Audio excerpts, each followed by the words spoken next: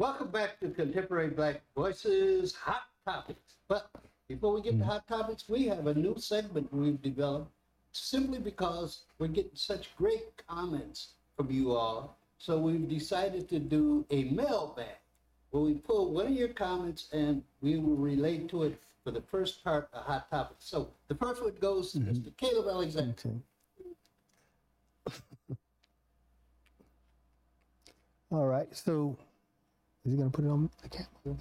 Okay. So, uh, last week we had a, a really interesting discussion. Uh, that discussion was about uh, Asians, uh, uh, Asian uh, attacks. On uh, uh, we called it what was it what we called it Asian attack on Black America. War it was Black war Asians war on Black America based on the uh, the lawsuit uh, that went up to the Supreme Court that reversed affirmative action. And so uh, we, as a result of that uh, of that uh, topic, we got a lot of really uh, interesting feedback. And so I'm going to take uh, we're going to take the opportunity in this new segment to uh, just uh, read uh, one of the comments. And so the the comment that I wanted to, to address. Uh, so during that segment, we had mentioned that. It was uh, black folks that were responsible uh, uh, for uh, the civil rights, and, and without black folks' struggle, uh, the Asians wouldn't be able to attend those institutions anyway. And so we also talked about how black, how the rest, how other communities benefited from uh, the black struggle during the civil rights movement. And so we had a, a comment that came in from Felix Hernandez, 5832.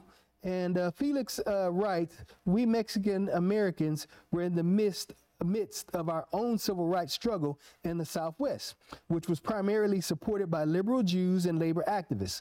To insinuate that Mexican Americans were a Johnny come lately to the civil rights movement and only reaped the benefits is not only a false statement, but highly disrespectful.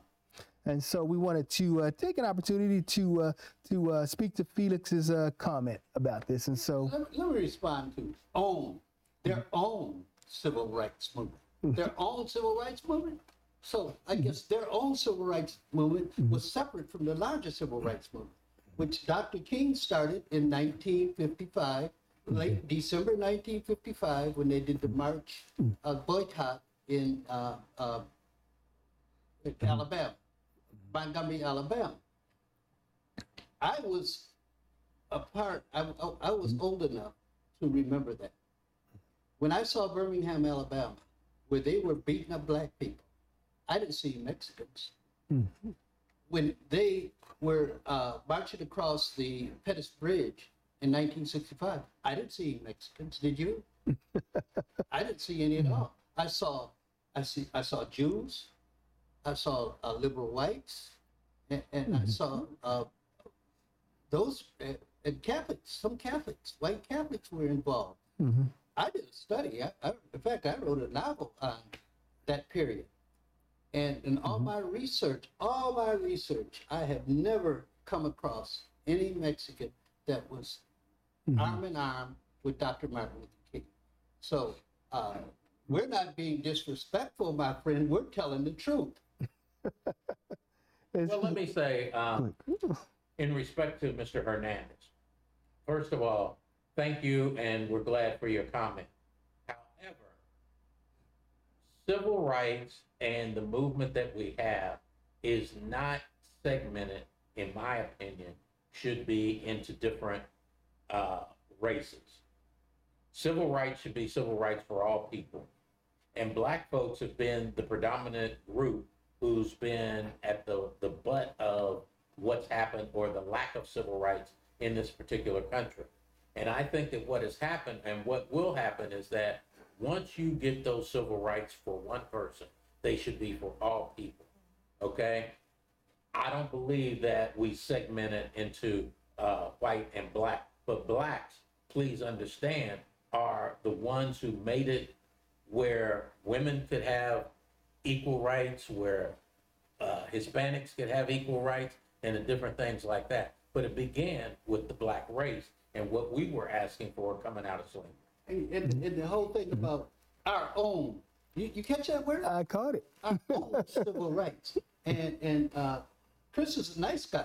You know, I'm not gonna take him for a comment when he tells me I'm being disrespectful when I'm telling the truth. No, I'm not going to do that. Doc, did you want to? You know, um, civil rights is a very, very hot topic in itself. And I think all groups want to have some type of ownership of the civil rights movement as it applies to them.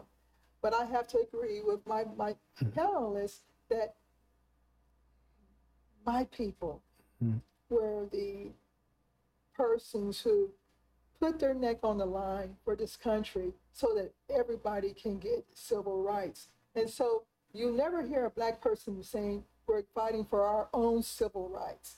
So, Mr. Hernandez, the fact that you're saying that you're that you guys were fighting for your own civil rights kind of goes against the overall argument that we were trying to project. Absolutely.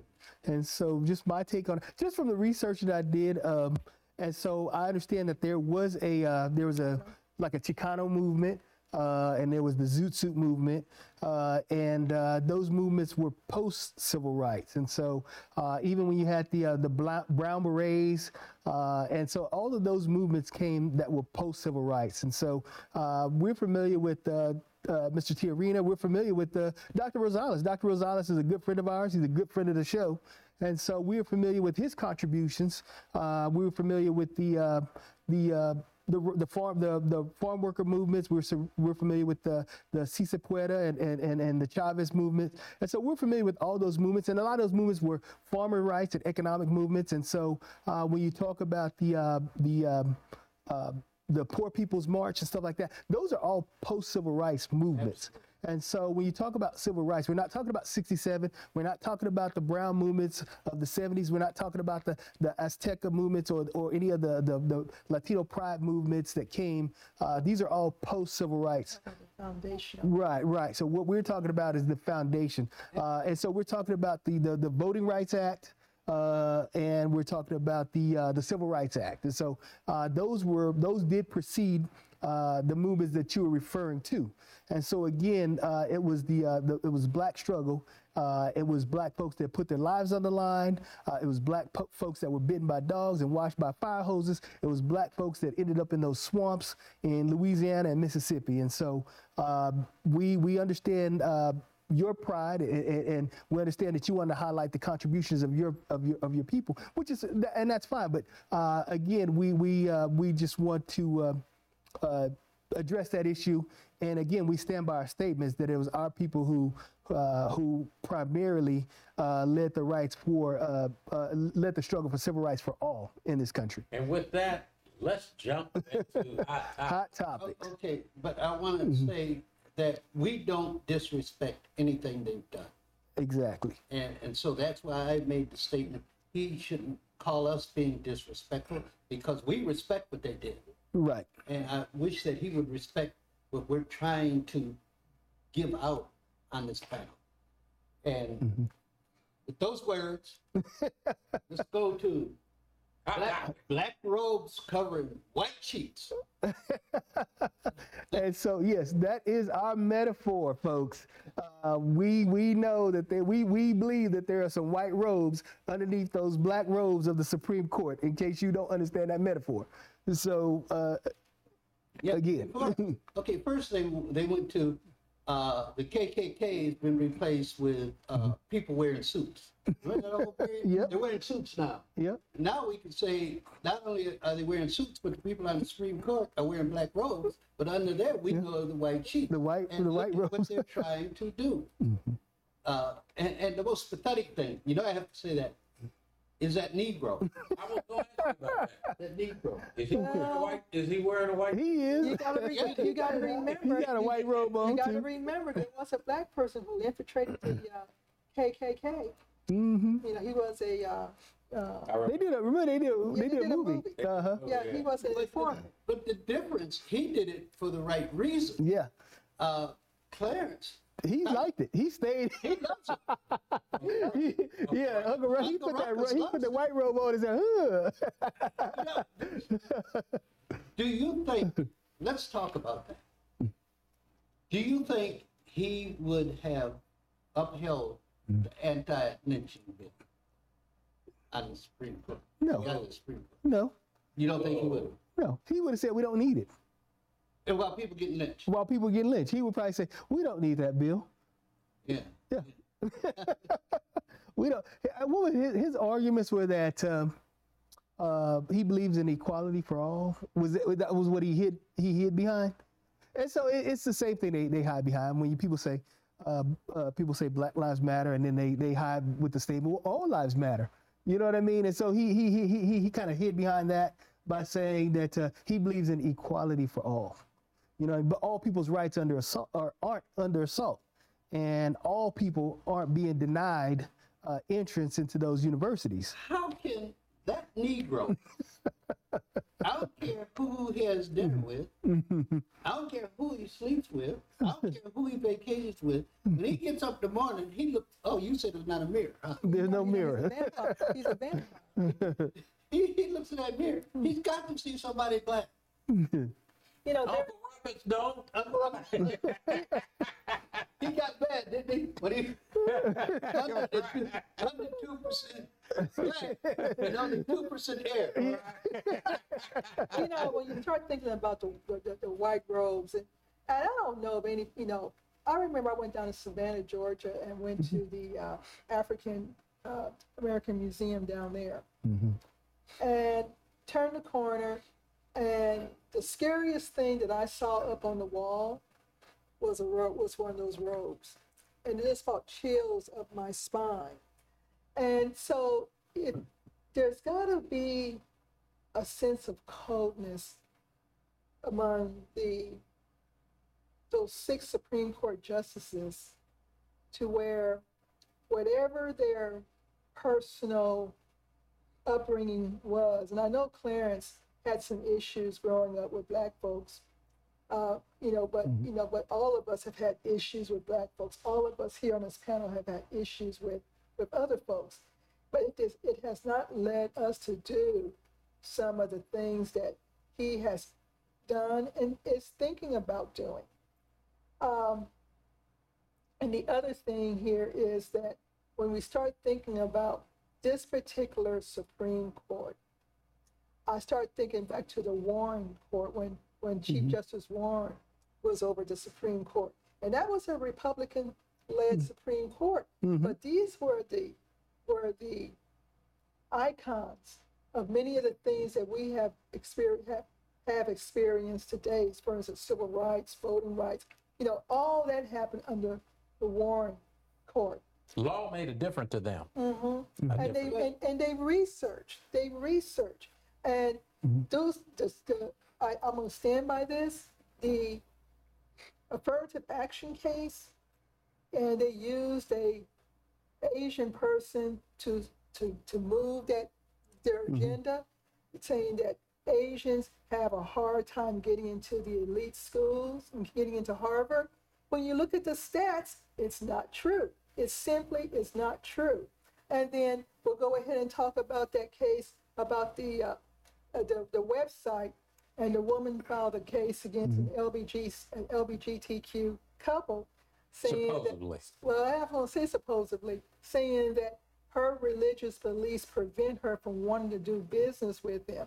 Well, everybody knew that that was a fake case. The couple did not exist. In fact, the couple that existed were was a heterosexual couple who they used their address to uh, support the case, but it was it never dealt with a, an LGBTQ couple, and so uh, Justice Kagan came out and said that the actions that, from her perspective, and we might as well throw in Justice Jackson based on how she really led into Clarence Thomas, was that their actions are delegitimizing the, the, the purpose of the Supreme Court.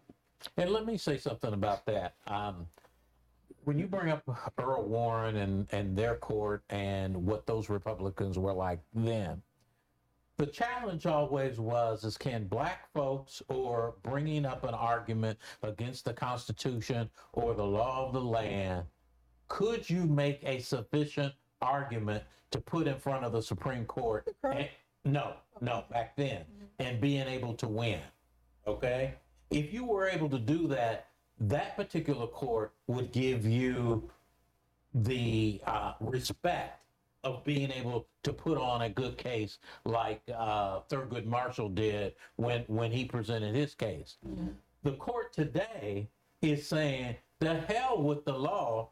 This is what we want to do. You don't have to have standing. You don't have to have this. You don't have to have that. We're just going to make a ruling because we think it was wrong." And that's where the differences to me come in between the courts is because what you have now is these people are justices, but they're lawless. They drink that milk. Okay. Somehow it seeped over to Clarence. He drank that milk. Okay? Even Amy Coney Barrett asked the question in the oral arguments shouldn't you have to bring, if, if this is, and it was about the website case, mm-hmm. if, if these people are the ones who are suing, why aren't they bringing this to the court? And the state of, Mis- I think it was Missouri, the state of Missouri said because we are the state. And, and she's saying, no, if they are the ones who are suing, then they should be the ones who are, who are here. Mm-hmm. But they threw, the court threw all of that out and said, it's still okay. Because the court, you, you know, we need to make a distinction between laws and the court interpreting the Constitution as it relates to those laws. Because the law is made by 50, uh, 51% majority, you make a law. 51 else you need. That happened in the South all the time to us. All the time. They pass a law, you can't ride in the front of the bus, or you can't go in the front. Of, that, that only took 51%. What stopped that was the Constitution. The Constitution comes in and says, that's not constitutional, because mm-hmm. the Constitution is there to protect the rights of the minority. Mm-hmm. Democracy says that it's the majority rules, whatever they want to do. Boom, they can do it. That's democracy. And people don't realize that. Mm-hmm. What holds back on that is the Constitution says, no, you can't. Because there are rights that this minority has. Our problem with this court is that they've taken the other position. They've taken the other position, that they're making it okay for you to have these these laws where you can uh, say, uh, let's take doing away with the Voting Rights Act, where they upheld that bill. I think it was in 2012, where they said states no longer had to uh, get the approval Right, of the court right. uh, for their uh, when they When they vote on yeah. voting rights legislation. Now that opened the door Yeah, for all these states to do what they're doing. right, And, and so that's the, that's the danger of this whole thing, man.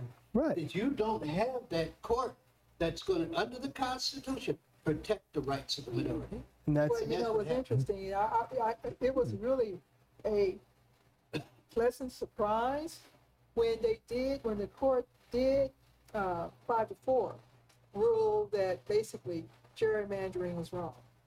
So now, it was in Mississippi, it was a case in Mississippi, and so now, uh, it's setting the stage where states gonna have to go back and reset the, those, uh, those maps to where minority groups can vote. mm-hmm, So uh, this whole thing about the Supreme Court, I think the only saving grace that I see about the Supreme Court is that eventually, some of those folks you know are going to have to die. Hopefully, the replacement people will be Warrenish in their thought. I'm talking about Warren Court Right. in their thought to where, since we already see that the Supreme Court is not beyond eliminating precedents, maybe we'll get a new court eventually who will come back and say they're resetting this back to where it should be. Okay, with that. So with the that- court has- Go ahead. No, because I'm saying the, previously the court has always expanded rights, and so now you have a, a, a very politicized court uh, that is uh, it's restricting rights, and so this this highly pol- politicized court, it's just it seems like their cases are being curated to go before the court, so they can go through their checklist, and and it's it's just it's a it's a Republican uh, uh, dream list that they're checking off and and and, and uh, reversing cases uh, that the Republicans have, have have always wanted to reverse. And so, I, me, I do question uh, the legitimacy of this court. And uh, oh, and the reason I question the legitimacy of this court is because the United States president was not allowed uh, to uh, to uh, pick a Supreme Court judge, which was his uh, his uh, His right. his constitutional right. And so I do question, I will forever question the, the, the legitimacy of this court. The other reason I question the legitimacy of this court is because I, I believe that the president uh, that did come in prior to this one, uh, I believe that there was some election, uh, electoral interference. And so I, I- this court may not be a Trump court, it may be a Putin court. And so there's several reasons I question the legitimacy of, of this court Okay. and their well, rulings. Well, I think with that, we're gonna end it, okay? Let's get our final comments and start over here. Chris, on anything we talked about today? I just think as far as guns are concerned, uh, we are going to have to, as a country, really deal with this issue and deal with it in sincerity. Uh, if we're going to be civilized, we're going to have to have a position that is more uh, favorable to the people. Shannon? Instead of saying, well, what about black on black crime? I say, well, what about crime in general? You know, that's what we should be talking about if we really want to, to do something with this gun violence.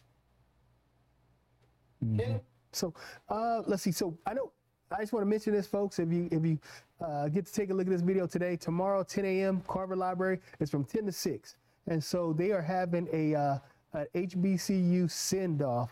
Uh, for the uh, for the kids that uh, that got accepted and are and that are leaving uh, and headed to to HBCUs this fall, and so if you could come out, celebrate with the kids, congratulate the kids. If you're able to donate, it's 10 kids. If you're able to donate, please do so. Uh, you know what kids need when they head off to college, and so let's just let's celebrate this uh, this achievement. Let's celebrate our gra- graduates, uh, and so not to take anything away from kids who are. Are not going to HBCUs, uh, but uh, this uh, that that'll come at another time. But at for today, for today or for tomorrow rather, let's let's celebrate these kids. And so it is 10 a.m. It starts at 10 a.m. Uh, there, there are going to be a variety of events. There's going to be, um, let's see, I know there's going to be food vendors, other vendors that are going to be there, and so just come out and have a good time. I think they're going to have a DJ over there, and so they're really, they're really doing it up for these kids, and we're really going to celebrate these kids. And so, um, it's 10 to 6, and, And so is I there really. a flyer or any place where Uh, people can get it's more gonna be it's gonna be at the Carver Library, so you can look on the Carver Library's website. Uh, you can Facebook. yeah, you can look on the Facebook site for Carver Library, and so uh, yeah, again, like I said, I just I want to I want to celebrate these kids and their accomplishment, especially in, in, in the face of what's what's what's recently happened. So we are really have to to to. Uh, gather around our, our, our HBCUs, our, inst- our institutions. Uh, we know the reasons that our institutions were founded. They were founded because of situations like this, but we have to educate our own. And so, again, let's celebrate these institutions. Let's celebrate these kids that are going to these institutions and just come out and provide your support, your love and support. Okay. We need to love on each other. Okay, great show today, folks. Thank you, thank you, thank you. We're looking for your comments, uh, good or bad, beautiful or ugly. We, we welcome your comments. And we will definitely be back with you next week, Contemporary Black mm. Voices. In the meantime, we are telling our story, our way.